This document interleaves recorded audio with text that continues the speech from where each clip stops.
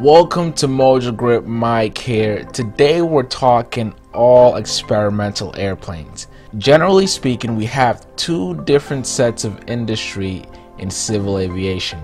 You have your certified airplanes and then you have experimental airplanes. Certified airplanes are factory built airplanes that goes through safety and regulations and then get certified by the FAA. And then you have experimental airplanes where you simply buy a kit and you build your own aircraft.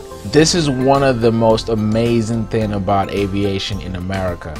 The fact that you get to build your own flying machine. And today we're going to look at the top 5 best experimental airplanes in the market. Keep in mind in ranking these airplanes, we're looking at several things. A lot is performance, but we're looking at not just speed, not just useful load, but also the comfort, the costs, and utility. So, for example, some of the airplanes you see on this list may not go as fast, but they have better useful load. The costs, they're very cost effective, and you can use them in several different scenarios. Number five on the list is the Lancair Evolution. Now, if you're not familiar with this airplane, first, the Lancair brand is one of the most popular kit builders here in the US, and they have different lines of airplanes. The Evolution is their most expensive model. When you look at the Lancair Evolution, first off, there's really nothing out there that looks like this airplane.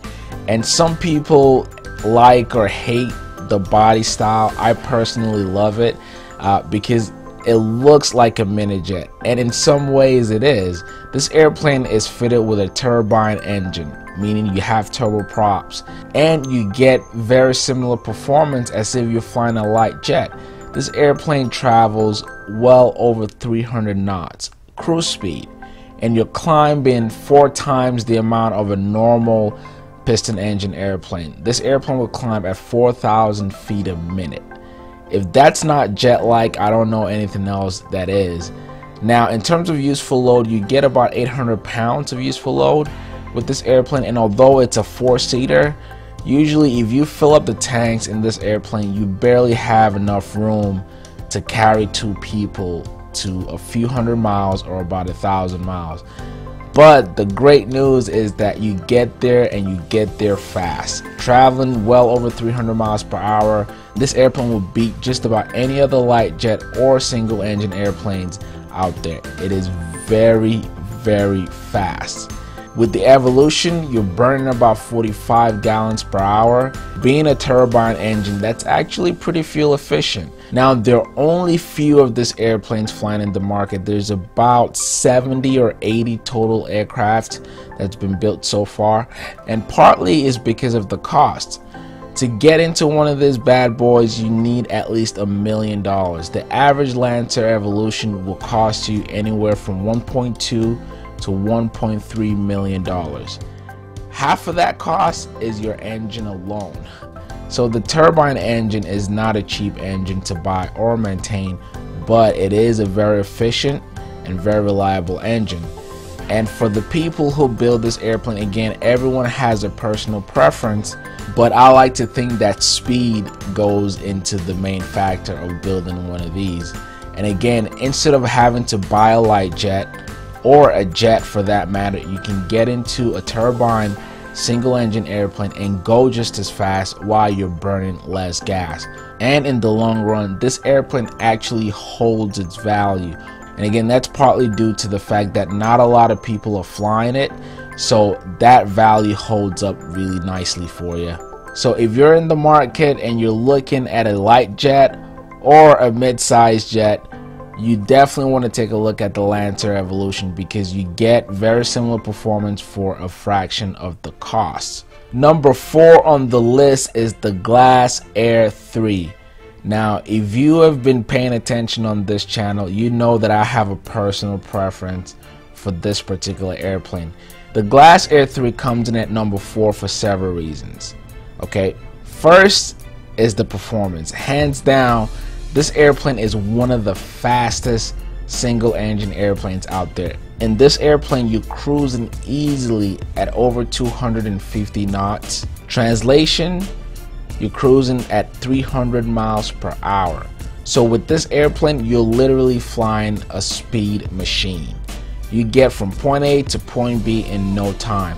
Now the Glasair 3 is only two-seater, but you have enough useful load in this airplane that you can carry two people comfortably and travel just as fast while you're only burning very little amount of gas per hour. That's one of the benefits of the Glasair actually. It is very fuel efficient.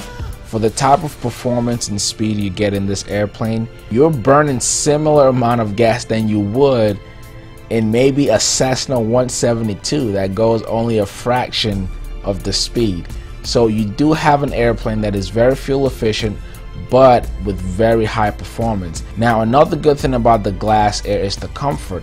If you look at one, you can see the cabin space is very spacious, at least for two people. If two people sit in this cabin, it is very spacious.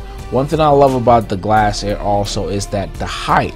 So once you sit in the cabin, you have enough room, you have enough headroom and enough uh, width. Again, the cabin just looks very spacious and I think for long trips that goes a long way. Now to get in one of these bad boys you need at least 200 to 350 thousand dollars which to me is a great bargain for an airplane that performs like this this is a great bargain for the price that you get for it. Number three on the list is the XCub from CubCrafters. Talk about an airplane that you can take literally anywhere. This is a Bush airplane that you can fly into remote places. If you love camping, you love to go to the beach, you love to take your airplane to remote destinations where you don't necessarily have a paved runway, then this is the perfect airplane for you. Now, the reason the CubCrafters makes the list today is because this is one of the most popular and probably the most reliable Bush airplane you'll find in the market today. The CubCrafters have many lines of airplanes, and the XCub is just one of them. To me, one of the best performing Bush airplane in the market today. And I wasn't kidding when I said you can do literally anything with this airplane. You can fly it to camping areas, you can fly it on, around mountains, you can fly to the beach, you can land this airplane almost anywhere. And that's why you buy one of these. This is an airplane with capabilities that a lot of single engine airplanes don't have. It's not just capable, but the utility of this airplane is amazing. You have over a thousand pounds of useful load. What that means for the average pilot is that you can throw in one more person and throw in a bunch of baggage or luggage in the back for you and just go. Just go wherever you need to go. Now this airplane will cruise easily at 145 miles per hour. It's not your typical airplane where you can maybe have 50 to 100 pounds of luggage space. This airplane gives you a good amount of space or room for you to put all your stuff. It was built with the right pilot in mind. If you're the type that loves to go camping, that loves to go skiing, loves to travel to remote areas, this is the perfect airplane for you. You get the performance, you get the range, and you get the useful load. Now, to get into one of these, you're looking at at least 180 to 200 thousand dollars. And the great thing about this airplane is you have the certified model, but you can also buy it as a kit and build it yourself. And with a kit, you get very similar options as you would in a factory built airplane. If you don't believe the hype, just go take a ride in one of these and see if you don't fall in love. Number two on the list is the Sling 4. If you've watched this channel long enough, you've seen me review this airplane. The Sling 4 is a four-seater airplane that you can build as a kit. It is an experimental airplane from Airplane Factory from South Africa. Now, unlike all the four-seater airplane out there, the Sling 4 may be the only one where they tell you it's a four seater and you can actually carry four adults in this airplane and go flying. I don't know how they did it, but they made it happen. Now, the only thing about the Sling 4 is that it uses a small Rotax engine. And for some, this is underpowered. But if you see what this engine can do, or you go take a test flight in one of these airplanes, you see what all the hype is about. Now, generally, a lot of four-seater airplane, even two-seater airplane, you're looking at 160, 180, and over 200 horsepower to be able to carry all that weight. But in the Sling 4, you have a Rotax 914, which only puts out about 115 horsepower. Now, you say that's low or that's something you put in the light sport, but the 115 horsepower also comes with a turbocharger, meaning you get 100% of all that horsepower during your climb and all the way up to 15,000 feet. Now, because it also has a small engine, it also means that you're traveling very efficiently. The Sling 4, when I flew it, you're only burning about 5 to 6 gallons per hour while traveling over 120 knots. Translation, you're traveling 130 to 145 miles per hour and you're only burning 6 gallons per hour. The airplane factory also offers a quick build assist program. What this means is that instead of taking two years to build your airplane, for an additional fee, you can get your airplane done within six months. Now, in terms of cost, you can find a ready-built Sling 4 for around 170 to 190 thousand dollars. If you were to build one on your own, you're looking at roughly around the same price. Now, if you were to build this airplane to the max and have it IFR certified, have all the whistles and bells in it, you're looking at maybe around 220 to $240,000. So we saved the best for last. The best kit airplane that you'll find in the market today is the Van's RV10. Van's is arguably the number one kit builders in all of aviation all around the world. And Van's aircraft have so many different models, so many different categories. You can pick and choose yourself. You have two seaters to four seaters to aerobatics airplane, but we chose the RV10 today because it is probably the most useful one out of all of their lines of airplanes. And when you think of the average pilot who has kids or wants to bring friends along on a ride, the RV10 is the likely choice. And so, why is this airplane the best experimental airplane out there? Well, for what you're getting for every dollar, this airplane is worth it. Performance wise, utility, comfort, range, just all of the above, I believe the RV10 hits all of the checks. Now, starting with the cost, a well-built RV10 can be bought anywhere from 175,000 all the way to 200 or 250,000 dollars. If you were to build one yourself, you're probably looking to spend even less than that. But if you were to buy one ready-made, you're looking to spend close to 200,000 or a little bit over $200,000. Now, what do you get for all that money? First, you get an airplane that could actually sit four people comfortably. Okay, you have a useful load of over a thousand pounds and you get a 100 pounds of baggage area. The best airplane I can compare the RV-10 to is maybe the Cirrus SR-22.